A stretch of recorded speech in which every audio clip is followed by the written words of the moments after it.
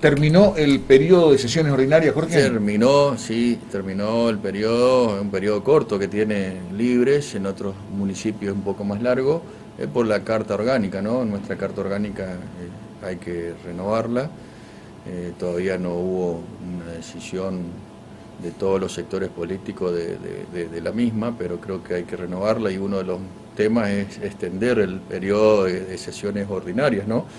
El nuestro es muy corto, comienza en abril y termina en octubre. Y en la mayoría de los municipios comienzan en marzo y terminan más adelante. ¿no? Bien, eh, algo importante que ha dejado la última sesión. No, y, la, fue más que nada, eh, fue la última sesión, fue la, despedida de los seis concejales eh, que vencen su mandato cumplido, ¿no? De la labor, muchos de ellos eh, con ocho años en el servicio de consejo, eh, de los dos sectores políticos, ¿no? tanto del oficialismo como de la oposición. Eh, se hizo estos últimos dos años un trabajo interesante en el Consejo, nosotros nos tocó ser oposición y los que eran opositores les tocó ser oficialista. Entonces pasamos por un montón de cosas. Eh, bueno, hicimos el trabajo que deberíamos hacer como opositores, de, estar constantemente eh, eh, controlando el municipio con distintos pedidos e informes, sobre todo las cuentas del municipio, que es importante porque la ciudadanía se merece saber las cuestiones de las cuentas del municipio. El municipio tiene un presupuesto, se ejecuta ese presupuesto y la gente debe saber en qué se ejecuta, ¿no? Y después un montón de pedidos que surgen durante el año, que por ahí rebotan en los resortes eh, como corresponden las distintas áreas y terminan en el Consejo. Entonces nosotros le debemos dar también respuesta a ese ciudadano que por ahí no encontró eh, en, un pasaje o no encontró en los arreglos de las calles, en el tema de servicios. Y bueno, pasaron por un montón de pedidos en el Consejo. Así que, y bueno, se hicieron eh, ordenanzas durante este año, ordenanzas importantes. Se acompañó el primer año de gestión eh, al intendente eh, con varias ordenanzas importantes también que le, favorecía al municipio. Así que, o sea, eh, creo que, la gente que se, que se va hoy hizo una buena labor legislativa dentro del, Consejo Librante. Bueno, ahora... Y felicitarlo a los que entran, ¿no? Los que ingresan. A los que ingresan son seis también, se renovaron seis, se, ingresan seis, ¿no? Eh, son, muchos de ellos son nuevos en, este, este, lugar, eh, cuatro son del frente de, todo. de todos eh, y, dos son del frente de ECO. ¿Está, ¿Eso está confirmado totalmente o esta, este recuento definitivo, ¿creería que están en Corrientes ahora ya haciendo el recuento definitivo? ¿Podría modificarse algo? En realidad, el, salió acá, eh, por el correo salió así, 4-2, pero bueno, el recuento definitivo, que es allá en Corrientes. ¿Y ahora se está haciendo en estos, momentos, eh, estos días? Sí, eh, ayer creo que comenzó ah, hoy. Y hasta mañana, hasta mañana. Sí, porque va por municipio. Y el libre le tocaba ayer o hoy, hoy creo que están allá y, la pueden pelear. Eh, la gente. ¿Va por abecedario o por, por cantidad de habitantes? Porque tienen que volver a controlar todos, los votos nulos, los votos recurridos, los votos en blanco. Eh, todo eso puede haber diferencia, que a veces mínima diferencia puede generar algunos cambios. Eso le toca directamente a la Cámara Electoral. Exacto. ¿Eh? son los jueces los que sí, el apoderado de cada partido o, los mismos concejales de las listas que tienen que creen que pueden pelearla y poder modificar ese, ese, ese número de votos sobre todo cuando hay una diferencia mínima, por ejemplo, estos 60, 70 votos que separan. Hay un ejemplo ahora que se está peleando. Se está peleando esa. Así que no sé cómo va a terminar. Una vez que puede confirmarse tal cual se puede o modificarse. o modificarse. Sobre todo cuando hay pocos pocos votos. Exacto. Mm. Exactamente. Sí, hay que esperar. Sí, sí, por el definitivo es el que está ahora. El que, están, el que salió acá es 4 a 2. Es el provisorio. Que se puede mantener, claro, se puede mantener 4 a 2, o como puede, puede haber eh, una variante, porque estamos hablando de pocos votos, eh, eh, puede haber una variante en el recuento definitivo. Ahí sí saldría pero creo que va a ser 4 a 2, si no me equivoco, creo. Creo que va a ser así. Pero hizo una gran elección el, el, escribano Jardín, ¿eh? hizo una muy buena elección. ¿eh? Sin los aparatos. Ustedes tenían la provincia y el, frente de todos con la elección a presidente. y Jardín era la pelea de Quijote, digamos. Exacto, hizo muy buena elección, sí. Bueno, no sé si hay algo más que, quieras aportar desde la parte política, bien, la, eh, es decir, con relación a la elección del domingo, no hubo problemas, no tuvieron complicaciones. no, se desarrolló con normalidad las elecciones eh, eh, acá libres, eh, comenzó con lluvia, pero normalmente la gente fue a votar, hubo un, alto concurrencia. Gran concurrencia, más allá de la lluvia. Sí, de Nación ya se venía hablando todo este tiempo que la gente vote.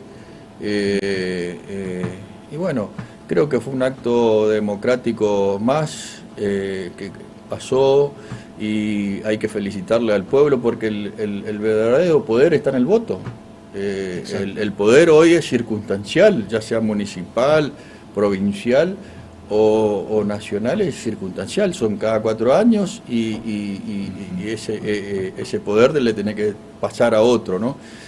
y bueno, fue algo transparente. Eh, el ministro del Interior comenzó eh, a las 6 de la tarde informando, ni bien terminó, que a las 9 de la noche iban a salir los primeros resultados. A las 9 en punto Exacto, se, cumplió todo. se cumplió todo. Día y media de la noche, el presidente Macri estaba felicitando al, presidente ganador, que le frente de todo, Alberto Fernández, y eso, eso demuestra que la institución en Argentina está funcionando. Esperemos que esto continúe así, porque tenemos que mostrar desde arriba hacia abajo eso, ¿no? La institucionalidad que funcione, que todo sea transparente. Y, y luego, más emocionante fue que mucho, hace mucho tiempo no veíamos, que ocurre en otros países muy cercanos nuestros, que es a las ocho y media de la mañana, esa misma noche le estaba citando al presidente ganador a que vaya a la Casa Rosada para empezar a hablar sobre la transición, que eso no ocurría, lamentablemente. ¿no? Con cierta tranquilidad. Con una tranquilidad, eso genera mucha tranquilidad en los mercados, que está muy movido en todo este tiempo.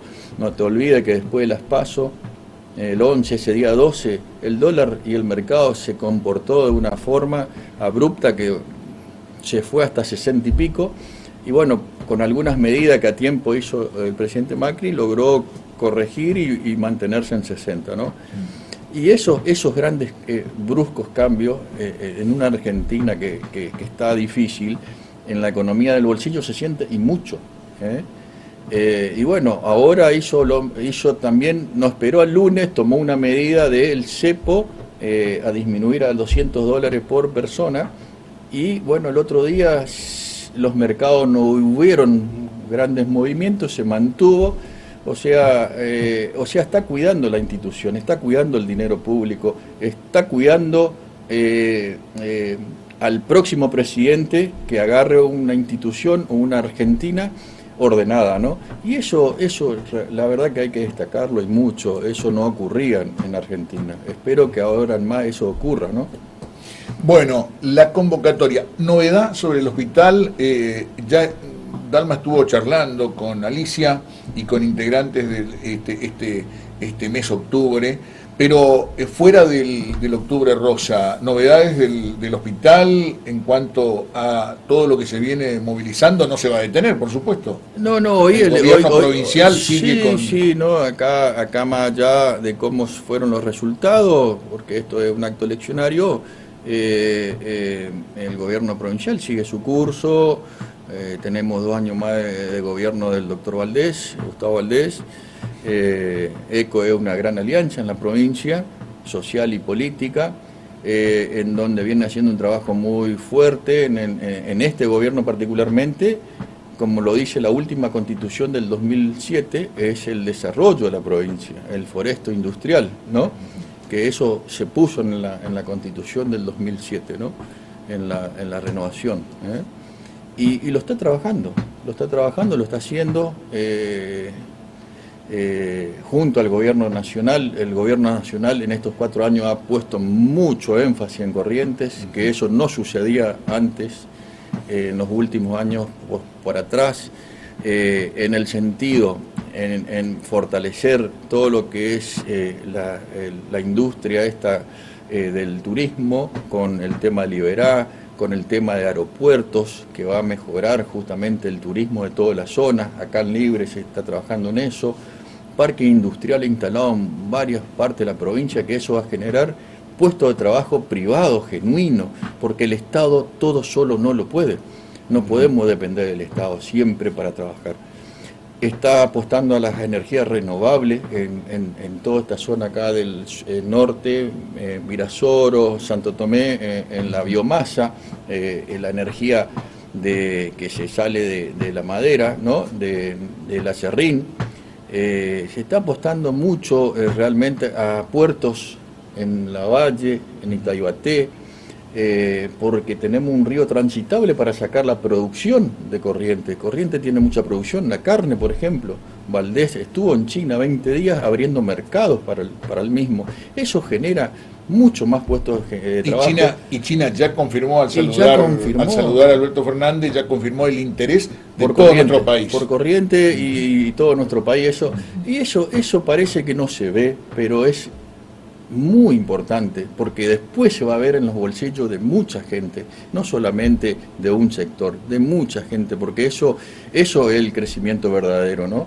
Eh, sabemos que hoy estamos en una situación difícil, que hay muchos planes, pero la Argentina tiene que salir de, a poquito de los planes, generando trabajo, ¿no? Y esta es la forma, mejor forma de generar trabajo. Corriente, yo creo que en, un futuro no muy lejano vamos a tener un sector eh, privado productivo muy importante, muy fortalecido y que eso va a generar muchísimos puestos de trabajo para toda la, provincia corriente.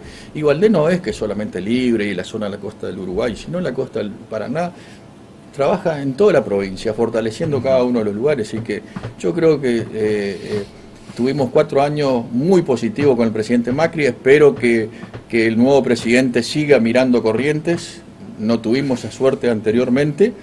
Eh, porque Corrientes se merece para más. Eh, bueno, una, lástima que se, una lástima que se corte todo esto, ¿no? Lo dijo Fernández que va a gobernar el presidente y los 24 gobernadores. Así hizo Macri, ¿eh? espero que, el presidente actual, electo, Fernández, siga gobernando, porque a él le eligieron todos los argentinos para gobernar la Argentina, no para, para su sector político. Anteriormente veíamos que se gobernaba para un sector eh, o por ciertos lugares donde ellos eran gobierno, en gobiernos anteriores, eh, hacemos una, comparación ¿no? con una provincia cercana, Chaco, por ejemplo. ¿eh? Chaco en gobiernos anteriores era bendecido por el gobierno nacional y Corriente no. ¿Crees que se favorecía más? Sí, sí. Pero te doy un ejemplo. a Chaco eh, lo puede decir a todos los diputados y senadores nacionales que ya estuvieron en gobiernos anteriores.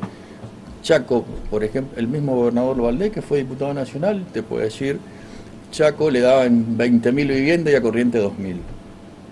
Chaco le daban tanta cantidad de cosas, a Corriente nada. Y esa diferencia no la puede haber. Yo creo que somos todos argentinos o no. ¿eh?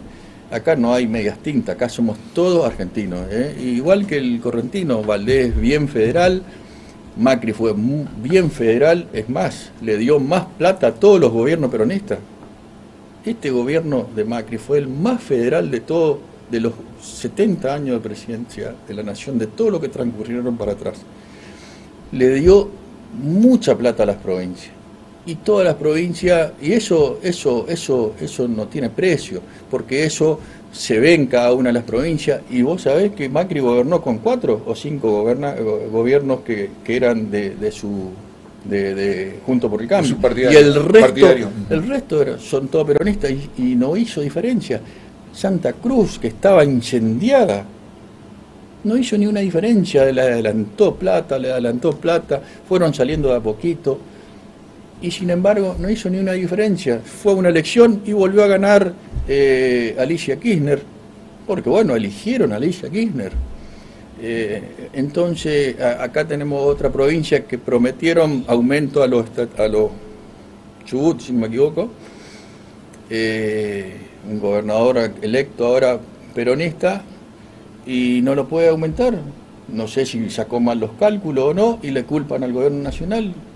No, no es así la cuestión. Yo creo que, que, este gobierno nacional deja una enseñanza muy grande, que la democracia se, sostiene, la libertad, eh, eh, la, justicia, eh, la transparencia en, las cuentas, en, la forma de gobernar, en el federalismo la modernización del Estado, se está trabajando muy fuerte. Hoy muchas, muchos, muchas cosas, muchos trámites puede hacer por internet. Eh, o sea, eh, hizo un buen trabajo Macri. Lo que pasa, lamentablemente. Convengamos que no se pudo dominar la pobreza y la inflación. No pudo dominar eso, que en Argentina parece que cuesta mucho, ¿no? Pero yo creo que estaba sentando las bases para eso. Yo creo que si Macri tenía la chance de gobernar por cuatro años más, eh, eh, recién se iba a poder redistribuir. Yo, yo soy inconvencido, Rubén, vamos a lo doméstico, vos tenés en tu casa poca plata y no podés distribuir eh, poca plata.